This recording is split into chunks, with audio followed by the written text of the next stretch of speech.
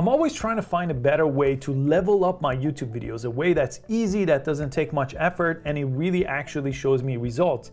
And one of the best ways I found in the last few years is using an animated subscribe icon, just like these. But the trick with these is usually asking for people to subscribe to your videos and showing the animated icon, the subscribe icon at the same time.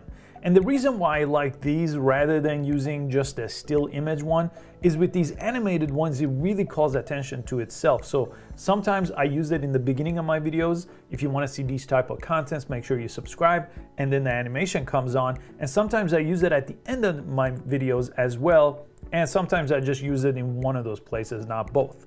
But ever since I started using them, they made a big difference in how many people actually take the second to subscribe to my channel. So I wanted to make this video to hopefully help you get more subscriber using the same method with animated subscribe icons and buttons on YouTube. So the best place I found for animated subscribe icons is this place called Envato Elements. And I'll put a link below in the description so you can find the same page. But basically, I just went to Envato Elements and I typed YouTube subscribe animation and they have some things that are very basic to use and some things that are a little bit more advanced. So I won't show you the more advanced ones because those require another software like Adobe Premiere. But if you do have Adobe Premiere, there's these things called video templates and you could use these to really dial in what your subscribe icons say. So some of these are based on Adobe Premiere or Adobe After Effects and you'll have to customize it. Let me go back because I want to show you the stock video versions of these because some of these basically don't require any software. You could just grab these, put it in any editing software and you're good to go. Just put it on top of your video and you could have the same effect. They usually come with a pack. That's why I really like these because you just don't get one. So let me click on this just to show you as an example.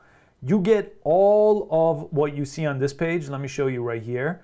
All these come with one bundle. So if you're asking people for a thumbs up, you could use this. When you're asking people to share, you could use this. All kinds of different varieties. Notification bell. This one is one of my favorites because you're giving a double call to action, subscribe and press thumbs up or press notification, but you could use any one of these. And every time I was trying to find these, the problem is they did not have an alpha channel. Alpha channel basically means they could go on top of your video and they don't have a background. If they have a background, it doesn't really work because you can't put it on top of your video. So whatever you look for, you want alpha channel as part of the package. These all have alpha channels that I have over here. So I'm gonna go ahead and check on alpha channel to make sure everything I get has a transparent background so it could go on top of my video. And what's great about this platform actually is you could download as much as you want for just one monthly fee. And I've covered all kinds of ways I use this platform in different videos. So I get my stock videos and my music and sound effects and pretty much anything I use, photos, fonts, all from here for one monthly fee. And I could download as many of these as I want. So I could just press download here and it's gonna download it to my computer and then I could use it in the edit, which I'm gonna show you in a second.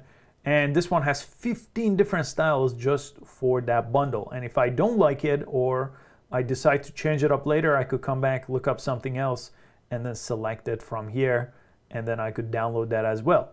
So if you make YouTube videos, this is one of those platforms that I've recommended in many of my videos. I've used it for many, many years. And Envato has been along for quite a while. Let me go ahead and unzip this package here, this file. And these all came in movie files, these MOV files. There is no special program you need to use these.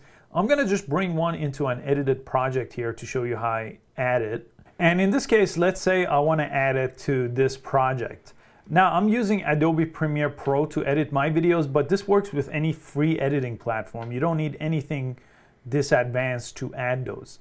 But all I do is I come over here and I bring those into my projects. So let me go ahead and go to that folder and I could bring any one of these. Like let me just bring, let's bring these four into my project. I'll just drag and drop them into my project. And to add them, in most video editing softwares, there's tracks. So video track one is me, but if I wanted to add this to video track two, I could just grab it and put it on top here. And then a lot of video editing softwares let you resize things. So I could resize this and move it wherever I want. So I could put it here or on this side. And if I go ahead and press play here, let me just put myself on mute. If I press play, you see it gets nicely animated on screen and then it goes away. And if I don't like it, I could just grab another one. I'll put it on top of this one to replace it. This one looks a little bit different. Let's look at number four. Again, this one has a different animation to it. So it came off screen. So again, I could reduce the size, put it anywhere on my screen. And this is what I'm talking about with the alpha channel.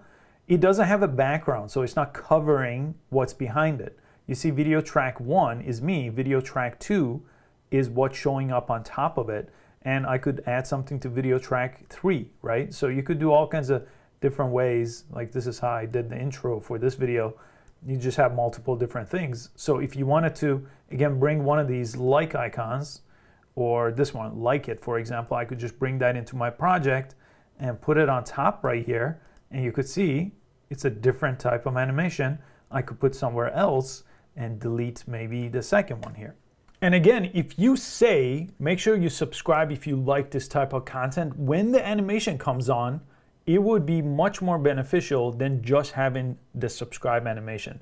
So try to experiment with both of those, the verbal call to action as well as the subscribe icon. You should get pretty good results and I have done that in most of my channels now for about three to four years in every single video.